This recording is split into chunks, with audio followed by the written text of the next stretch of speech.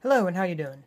So, um, I've taken a look at the previous videos that I've made using my computer and found that the webcam actually is not that great for taking a video of Skyrim. Really, it's really bad quality. So, tomorrow, which is Friday, I should be getting a shipment in with a uh, device that will allow me to record from my video game console, which is an Xbox 360. Yes, should be fine at that point. So, I'll be restarting the Adventures of Lilith at that point, probably renaming it or something, just to avoid the, the confusion between the two. So, take care, and I'll be setting stuff up later for the redone